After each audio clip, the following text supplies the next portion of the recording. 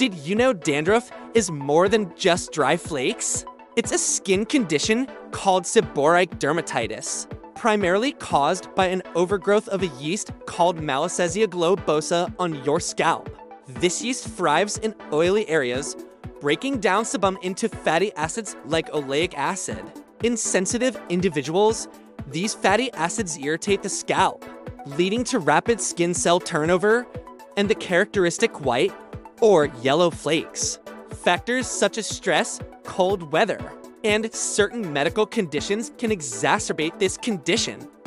While dandruff isn't contagious, it can be persistent. Treatment often involves antifungal shampoos containing ingredients like ketoconazole or selenium sulfide, which help reduce yeast growth and alleviate symptoms. Understanding the science behind dandruff can empower you to manage it effectively.